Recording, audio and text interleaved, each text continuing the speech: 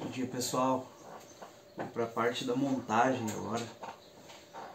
É, ela está, a coronha está pintada, né? A gente fez um, um, um enxerto aqui. Eu achei bem bacana nessa diferença de cor da madeira aqui. Ok, já dei o acabamento com o verniz. Não está bem seco ainda, mas a gente vai fazer a montagem mesmo assim.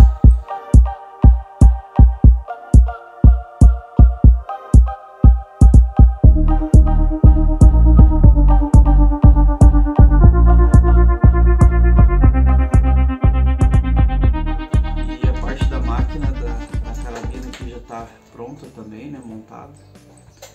Eu acabei colocando essa essa alça de mira aqui da, da 70 e da 7022 ela é toda em metal né? É, provisoriamente coloquei aqui pra gente fazer os testes. E vou continuar aí na saga de encontrar essa alça de mira original. A massa de mira aqui já está no lugar também, já está instaladinha né acho bem bacana esse estilo de, de massa de mira né, o, o, nosso nossa mola de gás RAM já está instalada aqui também, o gatilho já está pronto, né? Toda a parte mecânica dela está instalada e funcional aí. Então vamos para a montagem, vou ficar devendo a soleira, vou ficar devendo a soleira aí, mas para a gente poder fazer os testes aqui já vai dar, ok?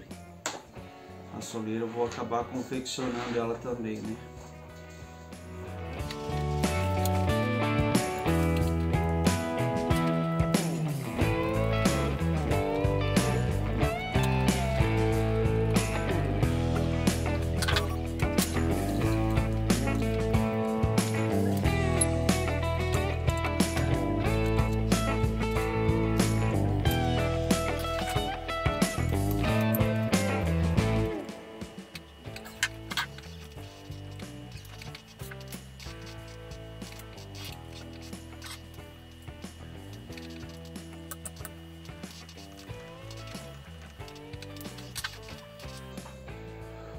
Bom pessoal, a montagem dela é muito simples, né? É uma carabina tem poucos acessórios, né?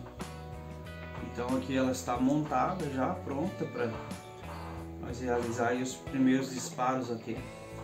Vou fazer primeiro o teste de VO dela. Estou curioso para saber quanto que vai dar a velocidade dessa carabina. A gente tem alguns chumbinhos aqui que a gente vai realizar os testes. O Vector Olímpico, ele tem 0,57 gramas de 8,80 grains, né? E eu peguei esse Auroch também, de 8,48 grains. São os chumbos que a gente vai fazer os testes aí. E vamos levar la para campo agora então, ok? Até mais. Fala tiradores! Estamos aí então para fazer os testes com a Expresso 345. Já testei ela aqui, tá funcionando, né? Tá disparando.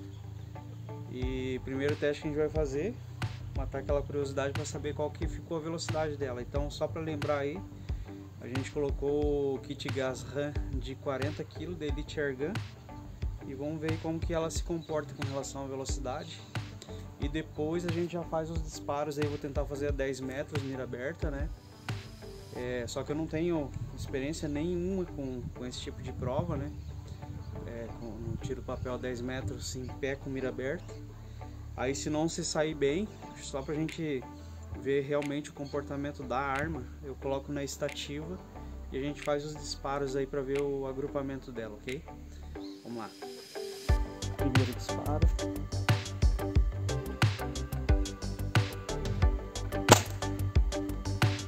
Cento e cinquenta e oito metros por segundo. Segundo disparo.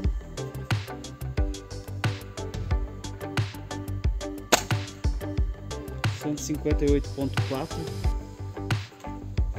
Terceiro disparo.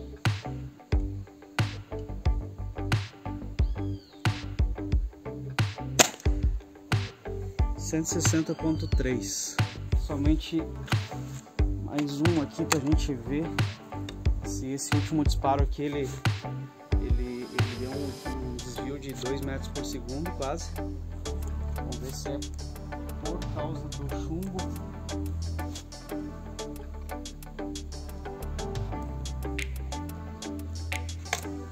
Quarto disparo. 171.9 fazer mais uns dois aí.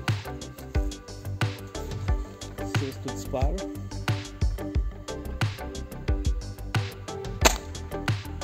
Cento sessenta e sete ponto dois. Cento sessenta e oito ponto dois no sétimo disparo aí.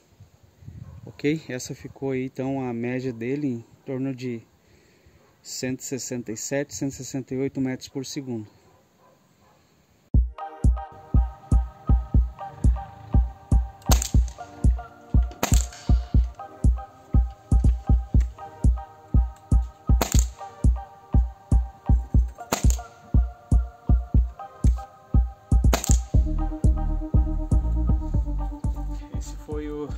Disparos aí em pé, né, sem apoio, mira aberta.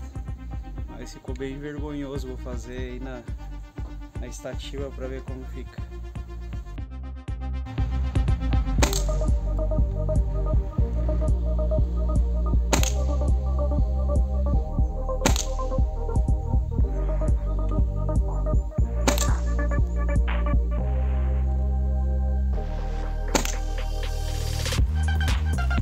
Então pessoal, cinco disparos, mas aí por questões de funcionalidade, né? O chumbo não é padrão, a gente já viu que a constância dele nos disparos é, é tem, tem uma diferença bem grande, né? Isso é, para tiro de precisão é terrível.